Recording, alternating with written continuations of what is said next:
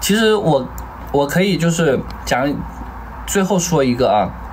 我差不多我说完这个我就打 PK 了，打完 PK 我大概十点多我就我就下播，我也不多说了。就是我们私下就是确实不是说这件事情，并不是说是特别就是光说这一件就这前几天发生的那件事情，其实好像看似不是很严重，但是也许通过这件事情可以折射出一些问题，就可以折射出我为什么。如果说我在成都过得开开心心的，我为什么会想回来？不是说我陈律这个人，我一我就是像个公主一样，在你们口里好像真的我是个大小姐，好像我是多多么无理取闹、多么作的人，就是就是因为有一些东西影响到了我自己，就我自己感受到了我在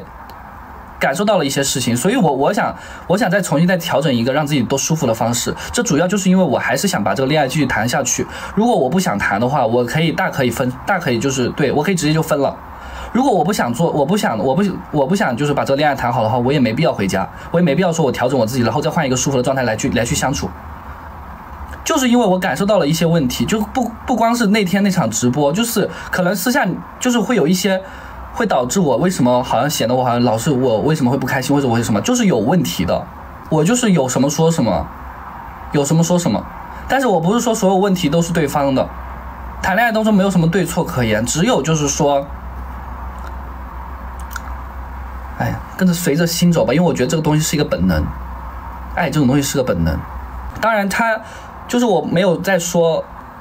就是我从我也不需要任何一方去审判我们俩，就是呃，你觉得啊，好像我我觉得你，好像你把把带入自己，就是可能有些人会带入自己，觉得哎，好像我多有委屈，然后对方多不委屈一样，然后有些人会觉得他有委屈，他没没改变什么之类的。如果说我们俩不是真实的，就是如果说没有爱的话，是不可能到今天这一到这一到到今天维持不了今天。肯定我我们不可否认的是，我我你审判任何就不可能是就是说任何就不能都不能说我们俩之间是没有爱的，或者说我不爱他他不爱我是说不了这个的，绝对是我们俩是绝对是就是我自己我从来没有说过不就是不爱这件事情，爱我们爱是不不不用审判的。只是我是希望大家可以理解一下，不要就是，只是希望大家可以理解一下吧，因为其实我们还是得换一个就是沟通的方式吧，换一个沟通的方式，换一个解决的方式。如果说好像每这最近如果说我们单人直播一上来就是这么多的乱七八糟的事情，只会影响各自的心情。这为什么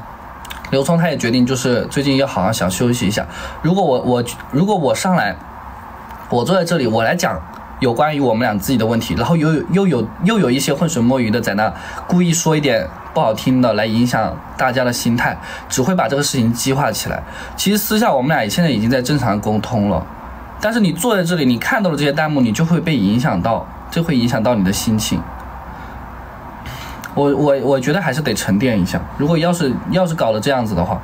我跟你说就是。有我们俩是爱是真是真的，我从来没觉得就是爱不爱过，真的。我你没有说我好像被什么言论洗了，根本就不是。哎呀，我跟你讲不通，你讲什么都会有人以自己的有自己的角度去去说，千人千面，我根本就讲不通。算了。